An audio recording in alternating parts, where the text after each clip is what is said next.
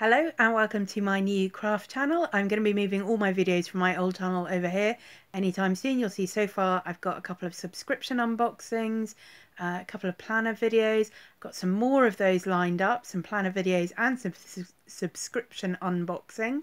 Uh, I've also got a giveaway coming up that'll be Bible journaling themed. Uh, but I also wanted to tell you about a new thing that I'm planning for this channel, which is the £5 craft challenge. I'm going to be challenging myself to go into various different shops, uh, buy no more than £5 worth of materials, and then see what I can make with them.